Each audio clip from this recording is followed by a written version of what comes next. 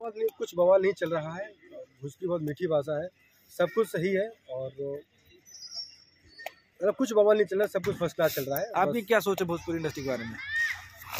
सोच तो मैं समझा नहीं क्या पूछना चाह रहे हैं क्या सोचते हैं भोजपुरी में? किस तरह से इंडस्ट्री खड़ी है खड़ी होनी चाहिए? भोजपुरी का ग्राफ बहुत बड़ा है। मतलब पवन जी आए खेसारी जी आए रवि किशन जी मनोज तिवारी जी भोजपुरी का ग्राफ बहुत बड़ा है। आज हमारी जो डिजिटल मार्केट देख लीजिए बहुत अच्छी लेवल पर जा रही है।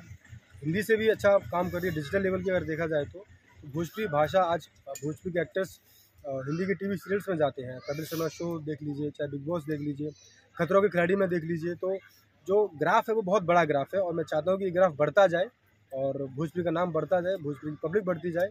बस यही चाहता हूँ। खेसारी एक नया गाना आया रोमांटिक राजा कैसा लगा आपको? मैंने वो गाना सुना बहुत अच्छा लगा। मेरी शुभकामना उनके साथ है उनको ट्रेनिंग स्टार कहते हैं। तो रवि यादव का शुभकामना है मिस्टर केसरी लाल यादव जी के साथ ट्रेनिंग स्टार के साथ में आपके साथ कि आपको रोमांटिक राजा गाने के लिए बहुत बहुत शुभकामना है। आप ऐसे हिट देते रहिए और बस काम करते रहिए कभी उनसे मुलाकात हुई है? कुछ कहना चाहते हैं उनसे और? उनसे एक बार मेरी मुलाकात है। एक स्टूडियो में वो गाना गा रहे थे। बस एक फ़ोटो दिया उसके बाद कोई मुलाकात नहीं हुआ उसके बाद। नॉर्मल बातचीत नहीं हुआ लेकिन मुलाकात की बस नॉर्मल उनको कुछ संदेश देना चाहते हैं? मैं तो बहुत छोटा हूँ उनको क्या संदेश दूँगा? मैं तो बहुत छोटा हूँ। इंडस्ट्री का मुझे लगता है कि इंडस्ट्री का सबसे छोटा सदस्य मैं हूँ। मेरे से सब लोग बड़े हैं, चाहे कोई भी एक्टर हो, चाहे चिंटू जी हो, चाहे पवन जी हो खेसारी जी हो मिरुआ जी हो और कल्लू जी हो, जितने भी एक्टर हैं, सब मेरे से बड़े हैं। मैं इंडस्ट्री का सबसे छोटा सदस्य हूँ। और छोटा बनकर सबका प्यार, आशीर्वाद लेना चाहता हूँ। धन्यवाद।